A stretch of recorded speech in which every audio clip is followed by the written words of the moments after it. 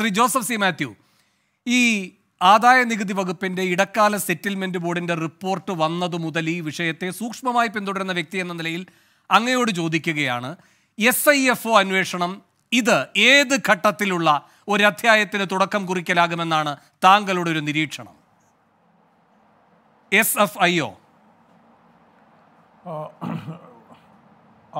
Venu S F I O അന്വേഷണം നേരത്തെ ഇവിടെ ചൂണ്ടിക്കാണിച്ചതുപോലെ കമ്പനി നിയമം അനുസരിച്ച് നടത്താവുന്ന ഏറ്റവും ഉയർന്ന അന്വേഷണമാണ്. സീരിയസ് ഫ്രോഡുലൻ കേസസ് അന്വേഷിക്കുന്ന ബോഡിയാണ്. അതിന് ആർ ഒ സി അന്വേഷണം നേരത്തെ വേണു ചൂണ്ടിക്കാണിച്ചതുപോലെ അതിനോട് പുലർത്തുന്ന ഒരു സമീപനം പുലർത്തി മുന്നോട്ട് പോകാൻ കഴിയില്ല. കാരണം അവരോട് നിസ്സംഗമായിട്ട് മറുപടി പറയാതെ ഒഴിയുകയാണെങ്കിൽ അവർക്ക് കസ്റ്റഡിയിൽ എടുക്കാനുള്ള അവകാശമുണ്ട്.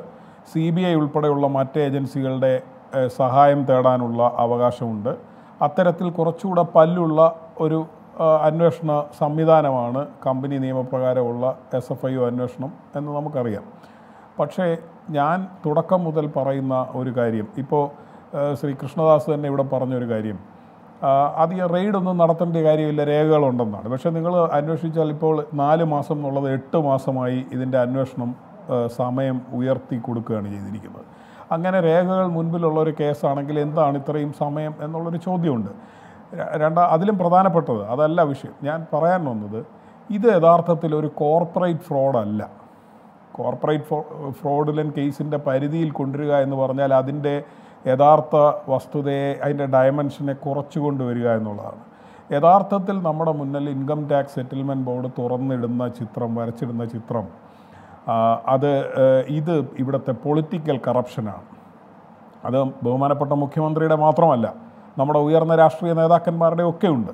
പക്ഷേ മുഖ്യമന്ത്രിയുടെ കേസിലുള്ളത് അത് അദ്ദേഹം സി പി എം നേതാവാണ് എന്നുള്ളത് കൊണ്ട് ഉള്ള ഉള്ള ഒരു പുതുമ ഇങ്ങനെ പ്രകടമായി വരുന്നത് ഒഴി മാറ്റി നിർത്തിയാൽ തന്നെ വരുന്നത് മറ്റുള്ളവരുടെയൊക്കെ ഒരു ബ്ലാക്കായി കൊടുത്ത പൈസയെക്കുറിച്ചാണെങ്കിൽ മുഖ്യമന്ത്രിയുടെ കേസിൽ അതിനോടൊപ്പം വൈറ്റായിട്ട് കിട്ടിയിരിക്കുന്ന ഈ വൺ പോയിന്റ് സെവൻ ടു ക്രോസിന്റെ ഒരു കണക്കും കൂടി അതിൽ വരുന്നുണ്ട്. അതാണ് ഞാൻ പറയുന്നത്. അത് എക്സാലോജിക്കിനോ ശ്രീമതി വീണ ടീക്കോ കിട്ടിയ പണമായിട്ടല്ല അതിൽ വിവക്ഷിച്ചിരിക്കുന്നതെന്ന് നമുക്കെല്ലാവർക്കും അറിയാം.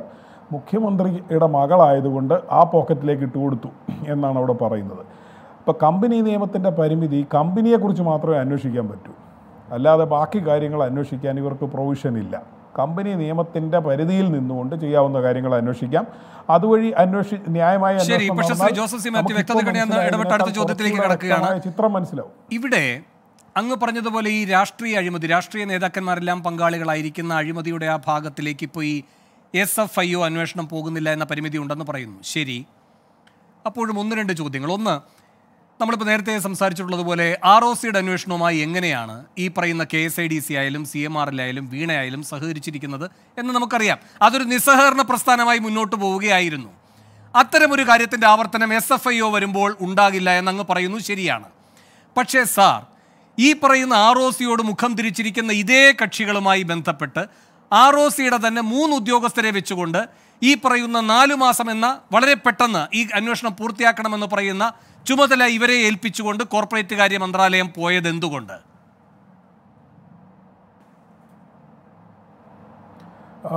വേണു അതിനു മുമ്പ് ഒരു കാര്യം കൂടിയുണ്ട്.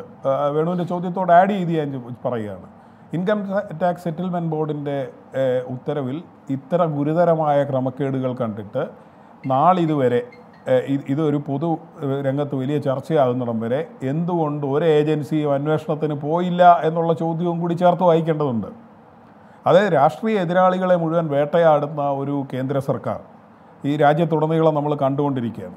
അങ്ങനെ ഒരു കേന്ദ്ര സർക്കാർ എന്തുകൊണ്ടാണ് കേരളത്തിലെ ഇടതുപക്ഷ സർക്കാരിന്റെ തലപ്പത്ത് മുഖ്യമന്ത്രിയെ തന്നെ ബാധിക്കാവുന്ന ഒരു വിഷയം വന്നിട്ട് അവരതിന്മേൽ മറ്റ് ഏജൻസികളൊന്നും അന്വേഷണത്തിന് മുതിരാതെ അങ്ങനെയെങ്കിൽ അങ്ങ് പറയുന്ന രൂപത്തിൽ ഒരു സന്ധിയാണ് ഇതിന്റെ പിന്നിലുള്ളത്. യഥാർത്ഥ തിരക്കഥയെങ്കിൽ എന്തിന് ഈ ആർ ഒ സി കർണാടക ഈ പറയുന്ന E D C B I അന്വേഷണ ശുപാർശ മുന്നോട്ട് വയ്ക്കണം? അത് അതായത് ഇത് സന്ധിയാണെന്ന് പോലും പറയണമെന്നില്ല.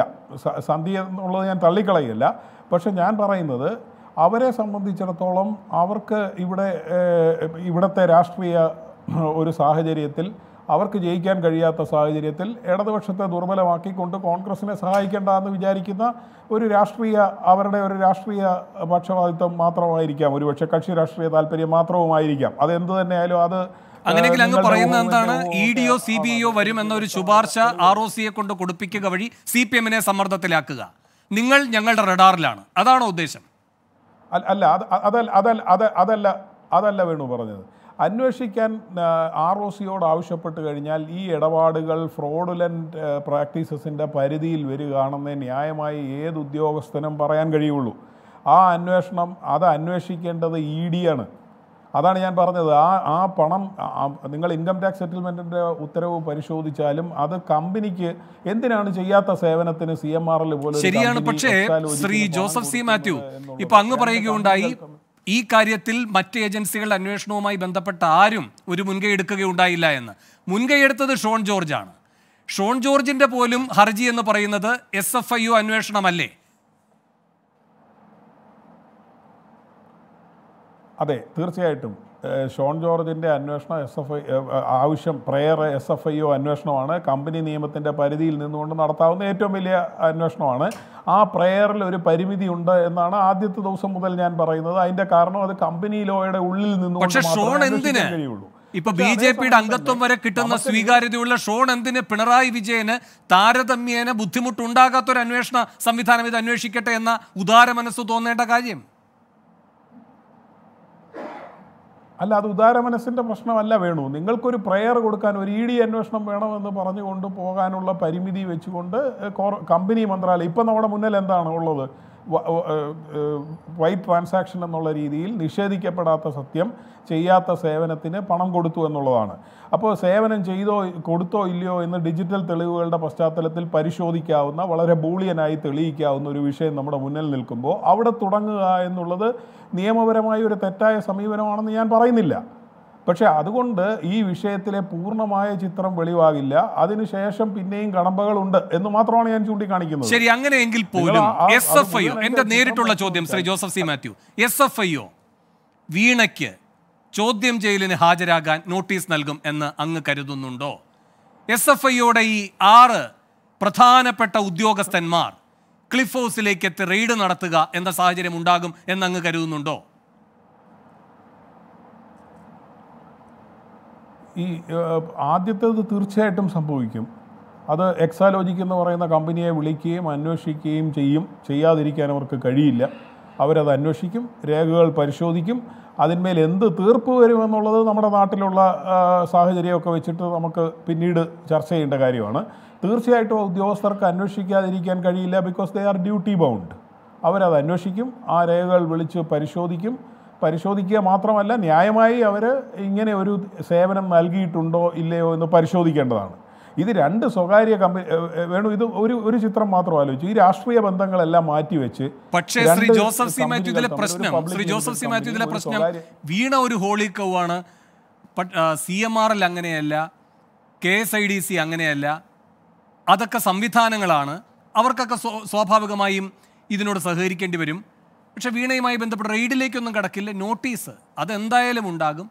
അങ്ങനെ അതിനൊരു സ്വാഭാവികത അതിനും നാം കൊടുക്കുകയാണ്. പക്ഷേ അതിനപ്പുറത്ത് നേരത്തെ പറഞ്ഞതുപോലെ ഇതൊരു സഹകരണ പ്രസ്ഥാനമാണ്. വീണ എന്ത് മറുപടി കൊടുക്കണം? K S I D C എന്ത് മറുപടി കൊടുക്കണം? സി എം ആർ എൽ എന്ത് മറുപടി കൊടുക്കണം? അത് അങ്ങീ പറയുന്ന പിണറായി വിജയന്റെ ബുദ്ധിയിൽ തന്നെ രൂപപ്പെടുന്നതായിരിക്കില്ലേ? അദ്ദേഹത്തിന്റെ നിർദ്ദേശാനുസരണം തന്നെയായിരിക്കില്ലേ ഈ കൂട്ടുകക്ഷി സഭ ഈ വിഷയത്തോട് സഹകരിക്കാൻ പോകുന്നത്? ഇപ്പോൾ ഈ കെ എസ് ഐ ഡി സിയുമായി ബന്ധപ്പെട്ടൊരു നിയമോപദേശം സുപ്രീം കോടതിയിൽ ഒരു അഭിഭാഷകനിൽ നിന്ന് കിട്ടിയെന്ന് പറയുകയുണ്ടായല്ലോ. അത് കെ എസ് ഐ ഡി സിയിലേക്ക് മാത്രമായി പരിമിതപ്പെടുമെന്ന് അങ്ങ് കരുതുന്നുണ്ടോ? അത് ഈ പറയുന്ന എക്സാലോജിക്കിനെ ഏത് രൂപത്തിലാണ് പ്രതിരോധിക്കേണ്ടത് എന്ന ബുദ്ധിയുടെ ഉപദേശത്തിലേക്ക് കൂടെ പോകില്ലേ? അപ്പോൾ ഇതിൽ ചിത്രം കൂടുതൽ ഏത് രൂപത്തിൽ വ്യക്തമാകുമെന്നാണ് അങ്ങ് കരുതുന്നത്? ഈ മൂന്ന് കൂട്ടരും ചേർന്നുകൊണ്ട് ഒറ്റ ഗ്രൂപ്പ് എന്ന നിലയിൽ എസ് എഫ് ഐ ഒയുടെ അന്വേഷണത്തെ എങ്ങനെ പ്രതിരോധിക്കാം എന്ന രൂപത്തിൽ പ്രവർത്തിക്കും എന്ന് അങ്ങ് സംശയിക്കുന്നുണ്ടോ? അല്ല അത് തീർച്ചയല്ലേ വേണു. അത് കൂട്ടുപ്രതികളാണല്ലോ അവർ. ഞാനത് ആദ്യം മുതലേ പറയുന്നത്. ഇപ്പോൾ ഇവർ സർക്കാരിന്റെ വക്താക്കൾ നമ്മളോട് പറയുന്നത് എന്താണ്? കാശ് കൊടുത്ത സി എം ആർ എല്ലിനോ കാശ് വാങ്ങിയ എക്സാലോജിക്കിനോ പരാതിയില്ല. പിന്നെ ആർക്കാണ് പരാതി? സേവനം കിട്ടിയില്ല എന്നോ പരാതിയില്ല എന്നാണ് പറയുന്നത്. കൈക്കൂലി കൊടുത്തവർക്കും വാങ്ങുന്നവർക്കും പരാതി ഉണ്ടാകാറില്ല. അതാണ് കൈക്കൂലിയുടെ പ്രത്യേകത. അപ്പോൾ ഇത് ഇവർ അതുകൊണ്ടാണ് അവർ രണ്ടുപേരും കുറ്റക്കാരാണെന്ന് പറയുന്നത്. ഇവർ കൂട്ടുപ്രതികളാണ്. ഇവർ കൂട്ടുപ്രതികളാണ്. വേണു രണ്ടാമത് ചൂണ്ടിക്കാണിച്ചതുപോലെ കെ എസ് ഐ ഡി സിക്ക് വേണ്ടി വക്കീലന്മാരെ കൊണ്ടുവരിക എന്ന് പറഞ്ഞാൽ നമ്മളുടെ ചെലവിൽ ഈ കേസിന് ഡിഫൻസ് തീർക്കും എന്ന് തന്നെയാണ് പറയുന്നതിന്റെ അർത്ഥം. K S I D C നമ്മുടെ ചെലവിൽ തന്നെ നിൽക്കുന്ന പൊതുമേഖലാ സ്ഥാപനമാണ്. സി എം ആറിലുമായി ബന്ധപ്പെട്ട കാര്യത്തിനകത്ത് ഒരു പൊതു താല്പര്യം വെച്ചുകൊണ്ട് ഒരു അക്ഷരം മിണ്ടിയിട്ടില്ല. ആ കെ എസ് ഐ ഡി സിക്ക് വേണ്ടിയിട്ടാണ് അവർ എത്തിപ്പെട്ട. അവർ ചെയ്യേണ്ട ഉത്തരവാദിത്തം നിർവഹിക്കാത്തതിന്റെ ഭാഗമായി അവർക്ക് പലതും ഒളിക്കേണ്ടതിന്റെ ഭാഗമായി അവരിതിൽ വന്നുപെട്ടു.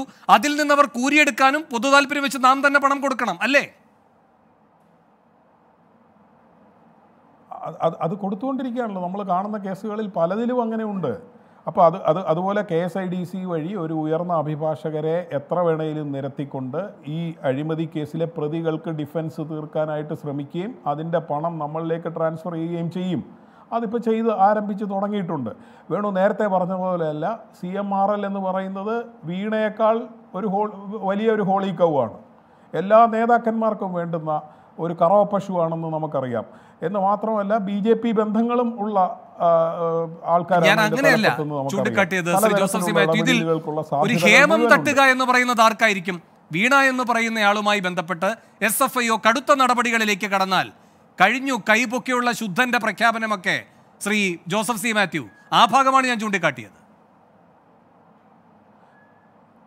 വേണു ഇത് മുഴുവൻ അതായത് മുഖ്യമന്ത്രി ഇപ്പോൾ നിയമസഭയിൽ പറയുമ്പോൾ ഭാര്യയുടെ പെൻഷൻ കാശും കൊണ്ടാണ് പോയതെന്ന് പറയുന്നു. നമ്മൾ വീട് പണിക്കും പെൻഷൻ കാഷിന്റെ കുറിച്ചാണ് നമ്മൾ കേട്ടത്. നിങ്ങൾ എംപവർ ഇന്ത്യ എന്ന് റിസോർട്ടിന്റെ കാര്യത്തിലും പെൻഷൻ പൈസ പൈസ തന്നെയാണ് കേട്ടത്. ശ്രീ ജോസഫ് സി മാത്യു റിസോർട്ടിന്റെ കാര്യത്തിലും. പെൻഷൻ പൈസ അത് വേറൊരു വേറൊരു നേതാ വേറൊരു നേതാവിന്റെ ആയതുകൊണ്ടാണ് അത് ഞാൻ പറഞ്ഞത് ഇതേ നേതാവിന്റെ കാര്യത്തിലാണ് ഞാൻ പറഞ്ഞത്. വീട് പണിയുടെ കാര്യത്തിലും പെൻഷൻ അപ്പോൾ ഇതിന് മാത്രം പെൻഷൻ തുകയുണ്ടോ ഒരു അധ്യാപികയ്ക്ക്? രണ്ടാമത് എംപവർ ഇന്ത്യ എന്ന് പറയുന്ന ഈ ഇതേ വ്യക്തികളുടെ ശ്രീ ക- കർത്തയുടെ ഒക്കെ സ്ഥാപനത്തിൽ നിന്ന് തന്നെ കൊണ്ടുപോയ അതിന്റെ ക്യാപിറ്റലിലേക്ക് കൊണ്ടുവന്ന ലോൺ എന്നുള്ള രീതിയിൽ കൊണ്ടുവന്ന പണം. അത് മടക്കി കൊടുത്തിട്ടില്ല എന്നാണ് മനസ്സിലാക്കുന്നത്. അത് പുറത്തു വരട്ടെ അതും അന്വേഷണത്തിന്റെ പരിധിയായിട്ട് വരും. അപ്പോൾ ഇതെല്ലാം എവിടുന്ന്? അപ്പോൾ ക്യാപിറ്റൽ എന്ന് പറയുന്ന ഈ പെൻഷൻ തുകയാണെന്ന് മാത്രം ഒരു സംസ്ഥാനത്തിന്റെ മുഖ്യമന്ത്രി സ്ഥാനത്ത് ഇരുന്നുകൊണ്ട് പറയുന്നത് നമ്മുടെ മുന്നിലുള്ള രേഖകളുമായി പൊരുത്തപ്പെടുന്നില്ല. അതാണ് ഞാൻ പറഞ്ഞത്. അപ്പോൾ. അത് അത് പോട്ടെ